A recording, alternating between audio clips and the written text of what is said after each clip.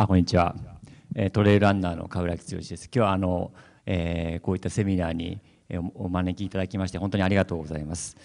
で私の方からちょっと短い時間なんですけどもちょっとお話しさせていただくのは、まあ、ちょっとあの皆さんがあの会場にいらっしゃる方トレランニングをですね、えー、まだご存知ない方もいらっしゃると思いますのでトレランニングを簡単に説明させていただいた後に、えー、このモンブランの、え、レースのお話をさせていただければというふうに思っております、まあ、トレイランニングなんですけども、まあ、本当にあのここ、えー、5年くらいですかね。本当に非常に大きな盛り上がりを見せているスポーツであります。えーまあ、トレイルランニングという言葉なので、ね、どうしてもこう山をですね、えー、走り続けるなければいけないというようなですね非常にあの過酷で、えーまあ、恐ろしいスポーツだというふうにね皆さん誤解されがちなんですけども、まあ、それは実は誤解でしてですねあの必ずしも実際のシーンを見ますとですね走り続けているわけではないんですね。あのいろんなレベルがあります。あの私のようにですね、まあ、本当に競技としてやっているレベルの方もいらっしゃれば、本当にあの、えー、普段走ったこともないようなですね、女性の方もこうトレイランニングをやっている、えー、非常にこう幅が広い。で初心者なんかはですね本当にこう、えー、山歩きにちょっとこう毛が生えたぐらいで心地よいところだけこう軽く走る、まあ、それでもですねトレイルランニングといって私は全然問題ないと思ってるんですね。皆さんこれよく考えていただければですね今ランニングというのは舗装道路舗装された道を走ることがランニングというふうに思われているかもしれないんですけどもほんの100年前までは舗装道路っていうのはなかったわけですしえー、その中あの我々人類はですねほとんどこう未舗装路をずっと走ってきた歴史があるわけなんですね。それを考えればいわゆるトレイルランニングっていうのは、まあ、新しいスポーツではあるんですけども実はその、えー、人類が昔からやり続けてきた、えー、スポーツでもあるでそれが非常に奥深い、えー、スポーツだなというふうに思っています。であの今日お話しするのはですね、え、私はこうトレイルランニングとは非常にこう楽しい部分アウトドアアクティビティとしての楽しい部分もありますし逆の部分ですね。本当に人間のですね限界を見るような、えー、本当に過酷な部分こう両両方が起こり、えー、まあ、あるですね。両方を感じられる、まあ、非常にこう幅の広いスポーツでもあると思うんですけどどちらかというと今日ちょっとお話しするのはこちらの方のです。極物の方の話をさせていただければというふうに思っています。えー、先ほど小島さんからもお話があった通りありこれはモンブランですね。ヨーロッパ最高峰4810メーター、えー、このモンブランのレースはですね、えー、このモンブラン山群といいまして非常にまあ大きな山の塊になります。でこれをですね一周ぐるっと反時計回りに回る。これはまあ、えー、ツール・ド・モンブランという、えー、世界でもまあ最も有名な、えー、トレッキングコースになります。ここを舞台に開催、毎年8月末に開催される、えー、ウルトラトレイルモンブラン、えー、UTMB というふうに言われているレースなんですけども、まあ、これはまさしくも世界最高峰、世界一を決める、えー、大会というふうに今呼ばれております。まあ、通常の方ですとね、あのフルに回れば、そうですね、10日から2週間はかかる、えー、コースなんですね。166キロ、まあ、170キロ近くですね。で、距離はまあ、もちろんあるんですけれども注目してほしいのはその標高差なんですね。累積標高差といって上りだけをちょっと足し上げた標高差が9500メーターあるんですね。これが非常にあのこの、まあえー、モンブランのレースの難しさを、えー、増幅させてる、まあ、一つの要因になるかなと思います。でこれをですね、えー、1週間あ2週間あるいは10日かかるその、えー、コースを、えー、トップ選手は20 20時間ぐらいでえー、駆け巡ってしまうという、まあ、非常にこのハードなレースであります。で世界、えー、50カ国からですね2300人の選手が、えー、フランスのシャモニフランスのシャモニが、まあ、スタートゴールになるんですけども、えー、こちらの方に、えー、集結するわけでありますこんな感じですね夜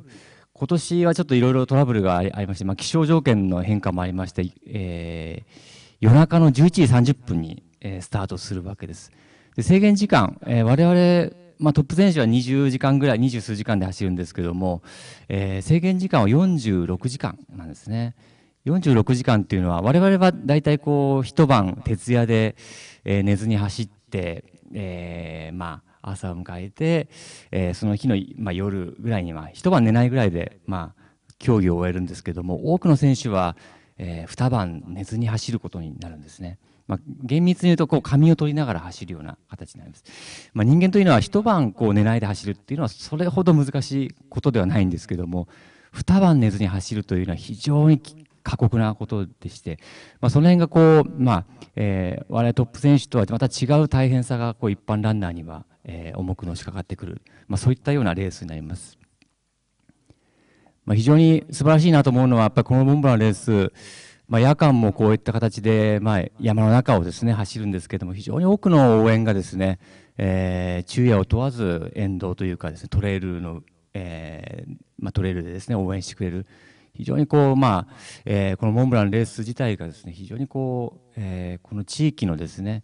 こう年間を通してのこの街に待った大きなイベントになっているわけであります。まあ、こんなですね景色を走るんですね、えー、まあ8月末とは言ってもですね山頂ピークでは氷点下今年は5度ですねでまたこう下がってきて里に降りてきて日中を迎えるとですね、えー、まあ、30度近くまで気温が上がるという、まあ、その、まあ、気温のギャップですねこれがまあ非常にこのモンブランのレースを、まあ、さらに難しくしている、まあ、一つの要因であるかなと思います。まあ、こういうところですね。これちょうどフランスが、えー、まあ、後ろに見えるのがモンブランなんですけども、フランスがシャモニーから、え、スタートしてよ、まあ、半周ですね、イタリア側に来て、えー、イタリア側から見ているモンブランなんですね。で、まあ、トレイルランニングのやっぱりこう魅力というのはですね、あのやはり景色だと思うんですね。あの非常に過酷なレースではあるんですけども、まあ、この素晴らしい景色にすごく助けられるんですね。あの辛い朝こう夜ずっと走り続けてきて、えー、朝日を浴びてですねこのモンブランを見てですねこれ不思議なことにもうもうきつくてきつくてきつくてしょうがないんですけどもその状況がいっぺんに変わったりするんですねこの朝日の輝くこの景色を見たりするとですね、まあ、その辺がこうまあえー、この後もお話しするんですけどもちょっと、えー、まあ、トレイランニングの面白みでもあるのかなというふうに思っております。まあ、本当にコース自体はですねものすごく綺麗です。もうとにかく、えー、これはちょうどですね左手が、まあ、いわゆるモンブラン山群、ま、山の好きな方であれば、えー、よく聞いてグランドジュラスという山なんですけども、まあ、トレイル自体は非常にこういった走りやすい、えー、トレイルを、えー、ずっと走ることになりますね。非常にあの、えー、素晴らしい、えー、景色であります、まあ、これ私ですね。まあね、この表情を見ても分かると通り、まあ、一晩中寝ずに走ってきてこの撮影しているのがちょうど160キロのレースの、まあ、100キロ地点ぐらいの、まあ、峠を越えているところなんですけどもこんな感じで、えー、越えてるんですけども、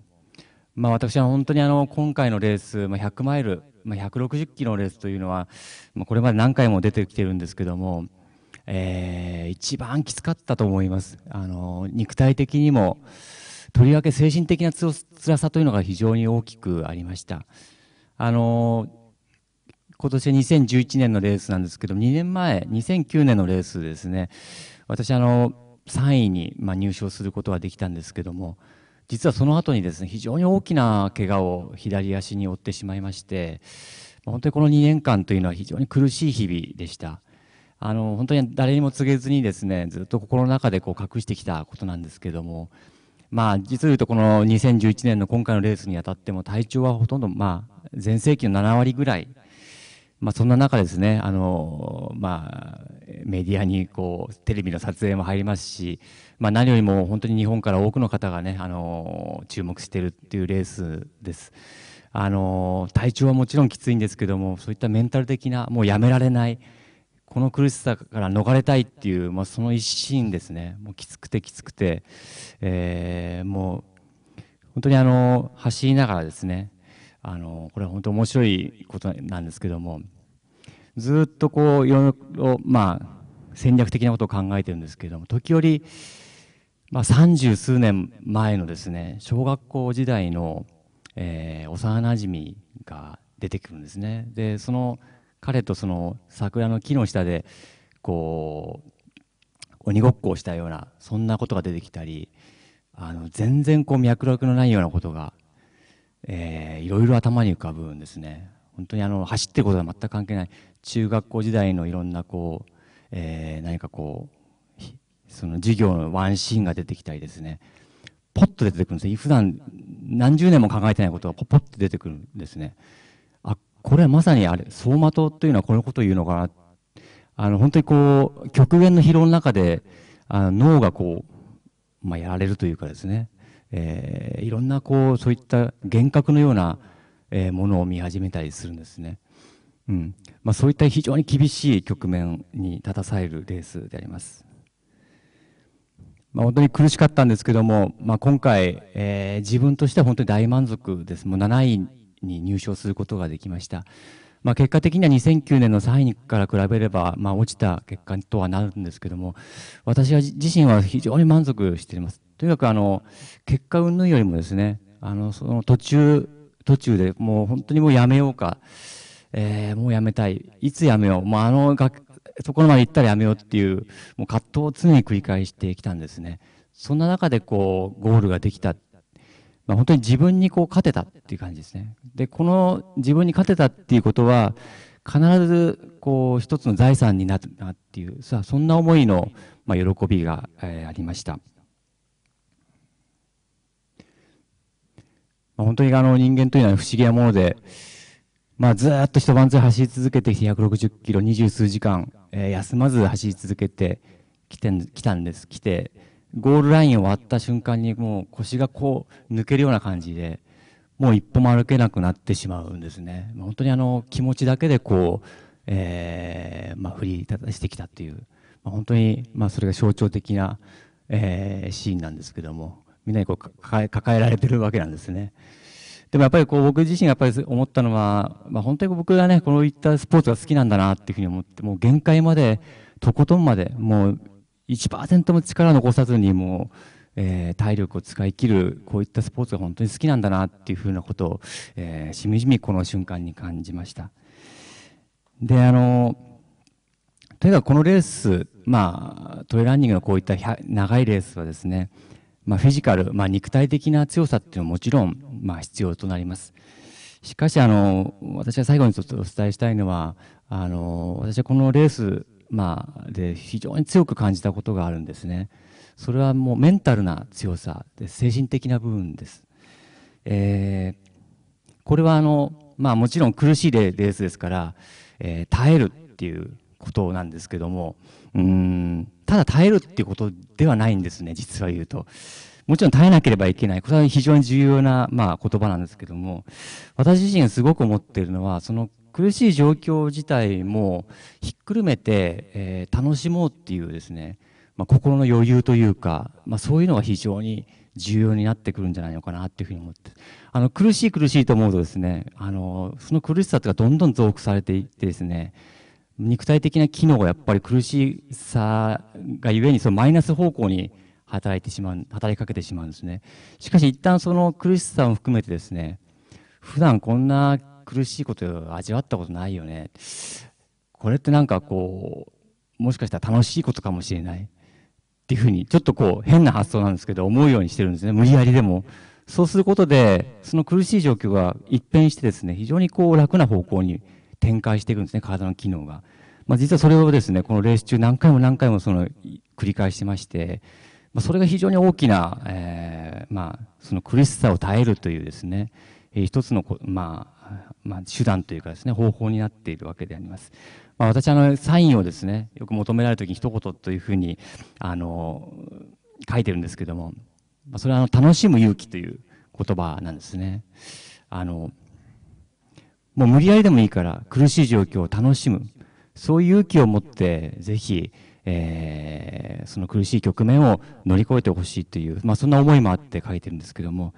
非常にあの、まあ、そういった意味では非常にこう、心が試されるレースだなというふうに思っております。ということで、ちょっとお時間も、えー、来てしまいましたので、またちょっとあのトークセッションの方でその辺は詳しくお話しさせていただきたいと思います。えー、ありがとうございました。